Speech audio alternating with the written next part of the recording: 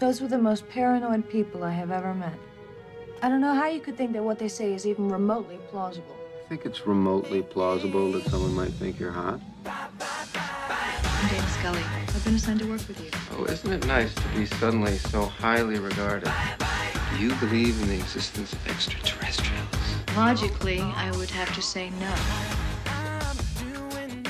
I was under the impression that you were Hi, my name is Fox Mulder. We used to sit next to each other at the FBI.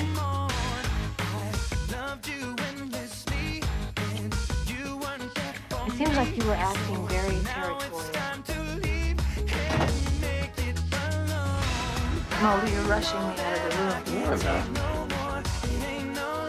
That's why they put the I in the FBI. This show is a bisexual nightmare. Communication like that unspoken. You know what I'm thinking? Kill me now. Can I buy you a drink? It's two o'clock in the afternoon, Agent Mulder. Do you think I'm spooky? Scully, marry me.